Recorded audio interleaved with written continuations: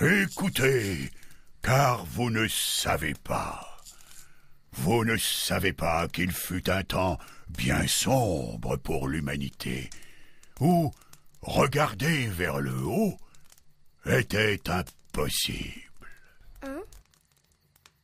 Oui, Oui. le monde n'a pas toujours été tel qu'il est. Il y a de cela bien des neiges. Les hommes et tous les êtres vivants n'avaient pas le moral, mais un bien grand mal à la tête, car le ciel était trop bas.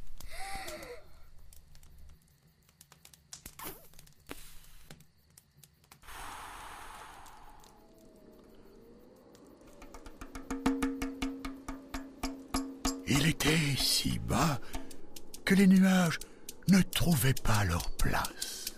Oh, il était si bas que les arbres ne pouvaient pas pousser sans que leurs cimes ne rejoignent leurs racines. Ah, le ciel était si bas que même les oiseaux ne pouvaient pas voler. Mais ce qui était plus pénible encore, c'était que les hommes adultes ne pouvaient pas se tenir debout bien droit, comme leur corps le leur demandait. Oui, ils devaient marcher tout penchés, avec leurs pieds pour seul horizon. Les enfants, eux, échappaient à la malédiction qui frappait les grandes personnes, car ils étaient tout petits. Mais ils savaient qu'un jour, ils deviendraient à leur tour des adultes et devraient alors, eux aussi, marcher tout penchés avec leurs pieds pour seul horizon. À moins, à moins que quelque chose ne change.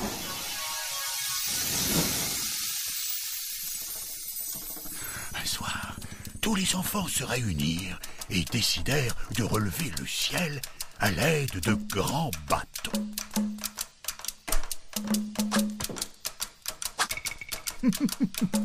en les entendant, les hommes se mirent à rire.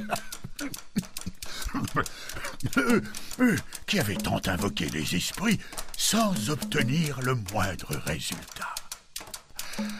Mais lorsqu'ils virent les enfants dresser des bâtons vers le ciel, ils commencèrent à douter. Oui, mais voilà, le ciel ne céda pas. Les arbres, les oiseaux et les nuages ne trouvaient toujours pas leur place. Quant aux hommes, ils se tenaient toujours courbés, ne pouvant contempler que leurs Pourquoi le ciel se lève pas Le jour suivant, les enfants allèrent chercher des bâtons plus longs, beaucoup plus longs, et reprirent leurs efforts. Malgré leur bravoure, le ciel demeurait à sa place. Il se lève jamais ou pas Alors le lendemain, les enfants, de plus en plus audacieux, s'emparèrent de bâtons infiniment grands, si grands qu'on n'en voyait plus le bout.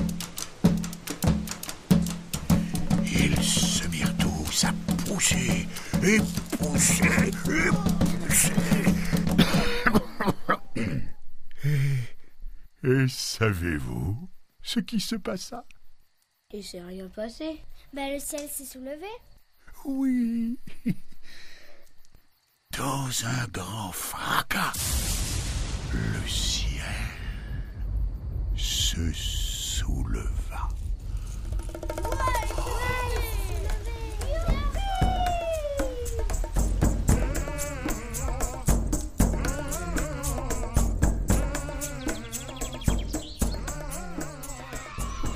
Depuis ce jour, le ciel est à la place que nous lui connaissons.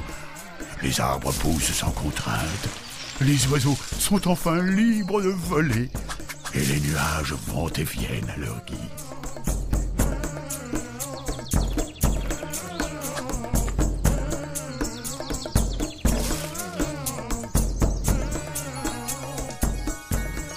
Et les hommes, eux, pour la première fois, peuvent se redresser et contempler le ciel.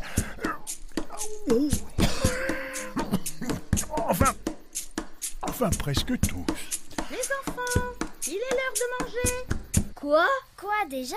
Allez, il est temps, mes petits braves. Oui, mon nez murmure à mon ventre vide hmm, qu'il y a du bison pour dîner. C'est mon papa qui a tué le bison. Oh, oh. Oh, Eh bien, eh bien, mes enfants, dépêchons-nous à présent, ou les coyotes se chargeront du bison fumé. J'aime pas les coyotes, ils sont méchants. Oui, oui. ah, j'oubliais. J'oubliais.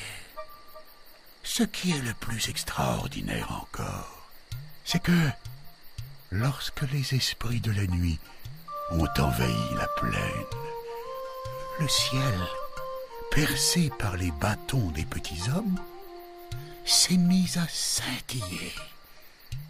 Dans chaque trou, il y avait une étoile.